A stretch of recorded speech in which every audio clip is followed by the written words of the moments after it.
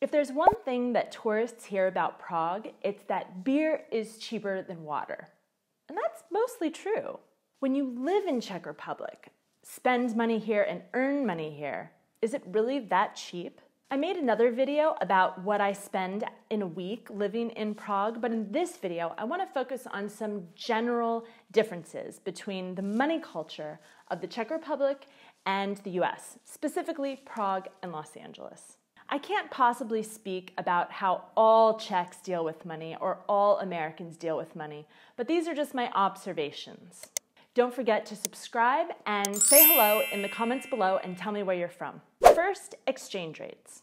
As a Californian, you can drive for 3,000 miles without ever having to think about other currencies. Yes, the Czech Republic is in the European Union, but on the whole, it doesn't accept euros. That's why it's so confusing for American tourists who do the Prague, Budapest, Vienna circuit when they come to visit. The values of those currencies fluctuate every day. When you're on vacation, it doesn't really matter, but when you live in Czech Republic and you've brought savings that are in US dollars, it can matter a lot. If you have clients from other EU countries and they're paying you in their currency, or if you have student loans that you have to pay to an American company, but you're earning Czech crowns, the exchange rates can get complicated and you can waste a lot of money in fees.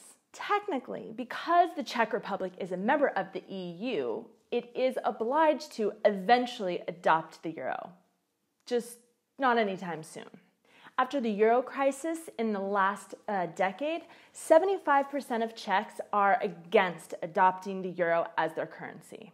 And they're very stubborn people. So it looks like we'll be converting between currencies indefinitely. Once we moved here and started earning crowns, we realized that nothing was as cheap as we thought. And we started complaining about the high price of things, just like true Czechs. So exchange rates are something I never thought about when I lived in the US, but now it's something that I am constantly keeping an eye on. Money reflects value. Well, obviously. But what I mean is that the person who's on a currency of a country often reflects the values of that country. It's been a normal practice for centuries to have the nation's monarch on its currency. In the United States, we proudly do not have a monarch, and so uh, several of our presidents and founding fathers adorn our bills. But Czech money not only features the first president of Czechoslovakia and the equivalent to our George Washington, but also a philosopher and teacher, an opera singer who also wrote poetry and prose, as well as an historian, and a writer whose most famous work focused on the life of a bohemian village. Having their images on the currency reminds us every day that a nation derives its greatness from its artists and thinkers, not just from the people who sign treaties and declare wars. Getting paid. Another difference is that in the United States, you get paid on the 1st and the 15th of every month. In the Czech Republic, you only get paid once per month, so you better budget. In Los Angeles, one whole paycheck of mine went to pay for my rent and the second paycheck of the month went to pay for my car payment, my car insurance, and my gasoline. And then there was nothing left. Oh, that's another difference. When you are offered a job in the Czech Republic, you are offered a monthly salary. So they would say this job pays 30,000 crowns, which means per month. Whereas in the United States, you'd be offered a yearly salary. They'd say this job pays $45,000, and that means yearly. It's a small difference, but I actually prefer the way the Czechs do it because knowing my monthly income helps me budget for rent and all my other monthly expenses. VAT, or value added tax. All EU nations have what's called VAT, or value added tax, on all goods and services. The Czech standard VAT is 21%, with a lower rate VAT for foodstuffs, sporting events, uh, pharmaceuticals, and ebooks, just to name a few. This rate is very high for Americans, and we are shocked and appalled that you put up with it. We hate taxes. We started a whole war over taxes and wasted a lot of good tea. And even though we adore Europe's beautifully maintained cobblestone streets and parks and well preserved monuments, we can't wait to get on a plane back to America with our VAT exempt forms. I'm obviously joking. The Americans who protest taxes have never been to Europe. Otherwise, they'd realize just how wonderful socialism can be.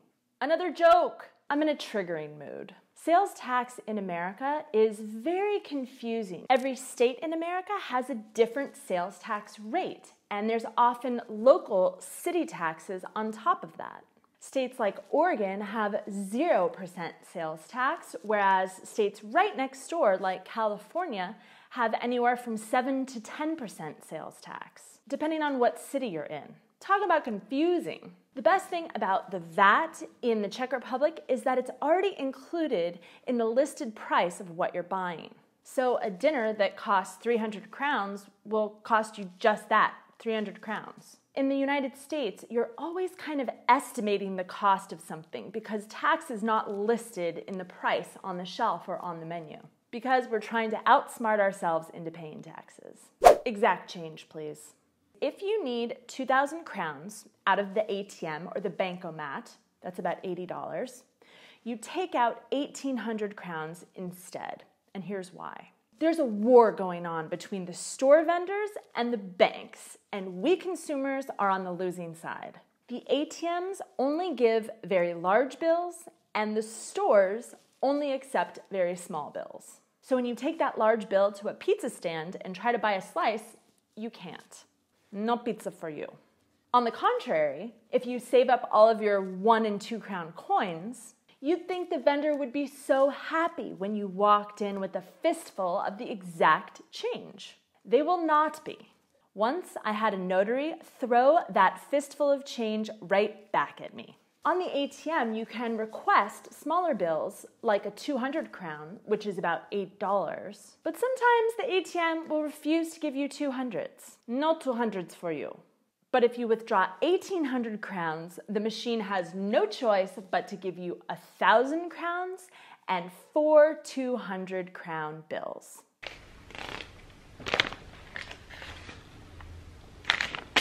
You're going to need a bigger purse. The most valuable coin in US circulation is the dollar, but we don't see it very often. The highest coin that is usually used is the quarter, which is worth 25 cents or about six crowns. And it's just annoying to carry around a bunch of metal coins in your pocket.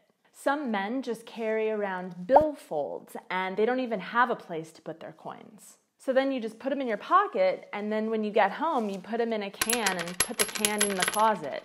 Then at the end of the month, you take those coins to the Coinstar. The Coinstar is a machine in supermarkets where you take that can of coins, pour it in, and it spits out all the paper clips and safety pins and lint and gives you $2 for your trouble. This, by the way, is a $2 bill, which is very rare, but it is the only US money that we happen to have in our house. In the Czech Republic, coins are quite valuable. This baby is worth 50 crowns and it will buy you a half liter of Pilsen in Prague or a full liter of Branik. And it's the same value as this. So if you have a pocket full of those babies, you can drink all night. This is probably why European men carry purses for the beer. When I first arrived eight years ago, banking was a huge challenge. There were expat branches for English speakers, but you had to be rich to get a bank account there. So I went to a regular bank and forced some poor banker to prove to his bosses that he spoke English, and he helped me open my first bank account. These days, the online banking is super easy. There's an English language app that allows me to do all my transactions from my phone. I hear about all these apps in the States that are popular now, so people can pay their friends, like, like Venmo or the Cash App, things like that. But the Czechs have that ability already built into their system. In the Czech Republic, it's really common to transfer money between banks. All you need is the person's bank account number and you can send them the money from your phone. So we use it to pay our friends back if we owe them money or to pay for invoices. And most businesses or services will send a PDF invoice and it'll have a QR code on it. So you just take a picture of it with your phone and then you can pay the bill in just a few clicks. I'm not exactly sure how the American system has modernized since I left, but I do know that it's way more complicated to send money between friends in the American banking system because I tried it with my friends and it was a big hassle. In the Czech Republic, it's really easy. The US is very much a credit culture. When I went to university, the first week we were there, there were credit card companies with stands outside the bookstore. And they just gave you your first credit card with a $1,000 limit. I didn't even have a job. So, of course, I spent it all immediately. And then I couldn't pay it back, and then the debt grew, and I got into some financial trouble. In my observations, Czechs don't use credit cards nearly as much. When we arrived, it was much more of a cash culture here, and cards were not accepted at a lot of places. But that's really shifted, and now even the Christmas stands will have card machines. And even contactless payment with your phone is widely accepted. One big difference is that debit cards here have chips, which you can use without contact. And if the purchase is over 500 crowns, then you would have to enter your PIN. Even though cards in the US have started to get chips, you still have to sign a receipt after the purchase. And the Czech cashier is often unfamiliar with requiring your signature and they forget, or sometimes you have to remind them to do it. City's gonna city. I can guarantee that the one comment I'm gonna see in the comment section, if you haven't already written it, is that Prague is not Czech Republic. Oh, honey, I know. Los Angeles is not the United States either. So, if there's one thing that Prague and Los Angeles have in common, other than more traffic, it's that they're a lot more expensive than the rest of the country. I don't have experience living in Liberec or Ostrava or Kladno, so I can't give an honest opinion about other Czech towns. If you live outside of Prague and want to have a good, cheap beer with me, let me know in the comments and hopefully I can come explore your town. I would love that. So, what do you think? Is the culture of money very different in your country? Have I gotten anything terribly wrong? Let me know in the comments below. And don't forget to subscribe for new videos each week. Uvidíme se příští týden. Ahoj!